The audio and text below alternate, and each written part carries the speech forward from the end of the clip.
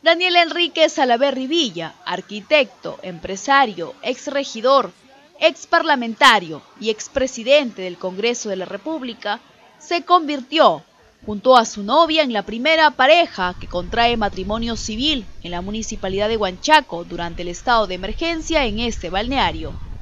La ceremonia civil estaba programada para las 11 y 30 de la mañana de este viernes 21 de agosto. Sin embargo, los novios llegaron al local anexo de la comuna cerca de las 11 y 40 de la mañana.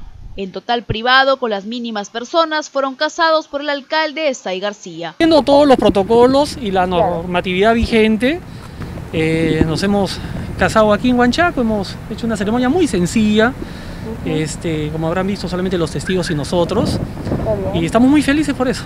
Salaverri Villa, en una breve entrevista, habló acerca de la recolección de firmas para la inscripción de su partido político. Ando arduamente para sacar adelante y lograr la inscripción del partido Perú Firme.